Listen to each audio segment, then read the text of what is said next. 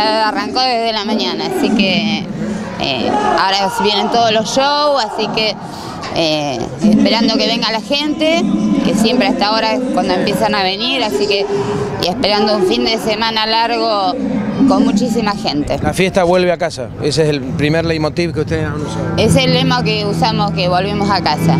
Hacía cuatro años que, hace cuatro años atrás fue la última y gracias a la intersindical portuaria que nos propuso, eh, estamos acá y gracias al consorcio de gestión que nos permitió y a la buena voluntad de la prefectura naval.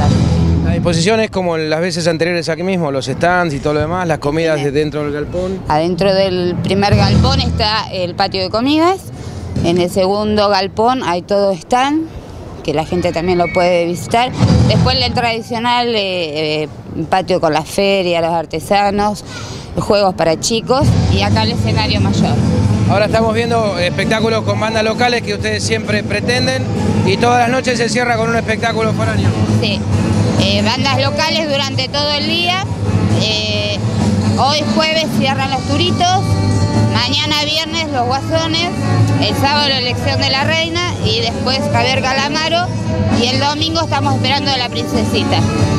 Eh, ¿Cuál es la expectativa final del domingo? Hacer un buen balance de que la gente venga y entienda que cuesta mucho hacer la fiesta.